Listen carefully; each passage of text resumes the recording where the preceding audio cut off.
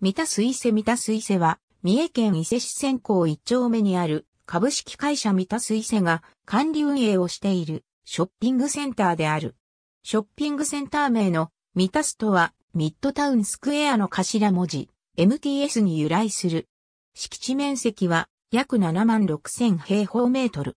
東洋紡績跡地の南側に広がり、北側には2012年1月4日に伊勢赤十字病院が開業。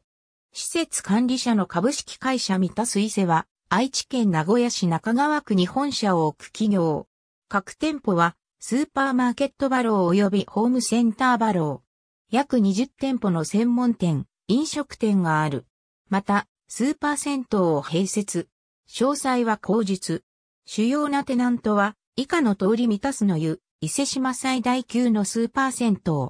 正式名称は、伊勢、船港温泉満たすの湯である。満たす伊勢町づくりプロジェクトの一環として、2009年6月25日、開業。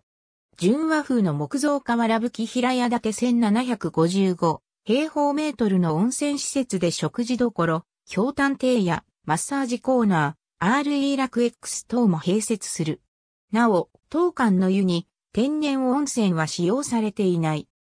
富士木工務店北陸、甲信越、東海、富士木工務店、ウィルビー建築施工事例 AB 伊勢島、ホームニュースハット AB 被災地の復興支援を呼びかけ、中日新聞伊勢島専売会が、チャリティーフリマ伊勢島ホームニュース157号、1ページ、2011年5月21日、満たすの湯オープンしました伊勢、船港温泉満たすの湯、営業案内、料金伊勢、船港温泉満たすの湯、ありがとうございます。